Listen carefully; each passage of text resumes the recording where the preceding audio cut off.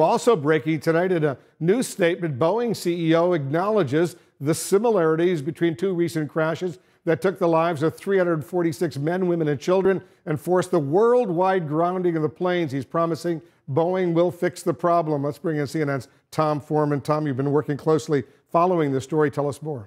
Uh, tonight, what is happening is that Boeing is admitting its automated software called MCAS not only played a role in the Ethiopian crash recently, but also the Lion Air crash off Indonesia last fall, which took hundreds of lives. And what seems to have pushed the CEO of Boeing, Dennis Muilenburg, over the edge is a preliminary report with very dire details that was first obtained by CNN.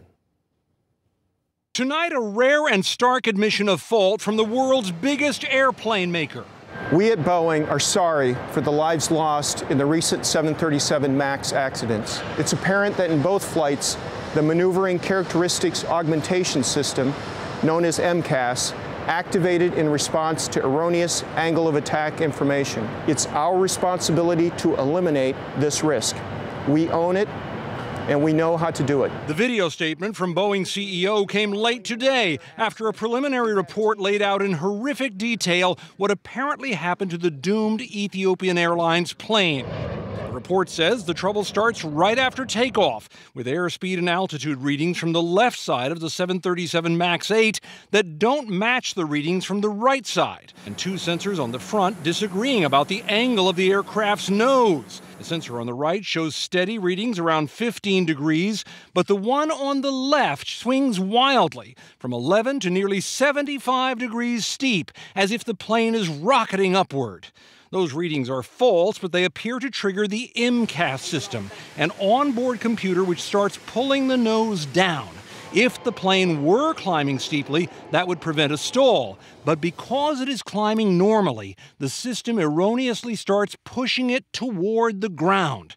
The report does not name MCAS, but Boeing has now acknowledged it was involved. The captain asks the first officer to pitch up together to pull back on their controls simultaneously. It does not work. Instead, the flight data recorder shows the plane diving, in all, four times without pilot's input. An impact warning sounds in the cockpit Don't sink, don't sink. The crew performed all the procedures repeatedly provided by the manufacturer, but was not able to control the aircraft. The report says the cockpit crew even figures out what is wrong and disables the MCAS system. Then the captain asks his first officer about a key part of the plane needed to regain control the trim. The reply it is not working. Less than six minutes in, once again, the aircraft began pitching nose down, eventually reaching 40 degrees. And it slams into the ground with 157 people on board at nearly 600 miles an hour. It is all eerily similar to the crash of an identical jet near Indonesia last fall, killing 189 people. And even though this is just a preliminary report which does not find a probable cause, Boeing is promising a software update for MCAS, some additional safety measures, and trying to regain public confidence.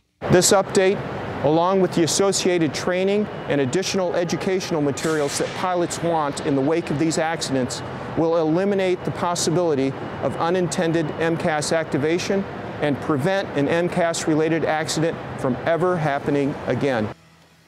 Still, just a couple of years ago, Boeing was talking about how it appreciated the new streamlined approach to regulations, which specifically was credited in development of the 737 MAX line. And now multiple investigations are looking into how those planes were designed, tested, certified, and frankly, whether they can ever be trusted again. Yeah, what a disturbing story that is. We're going to have much more on this story coming up later in the Situation Room. Tom Foreman, thanks for that report. Uh,